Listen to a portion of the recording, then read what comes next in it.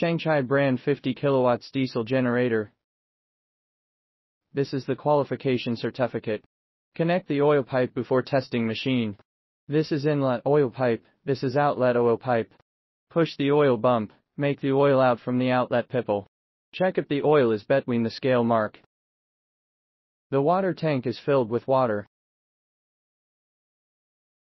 Connect the battery wires this side is turn on, this side is off. This is automatic control module, connecting the output cable, and starting.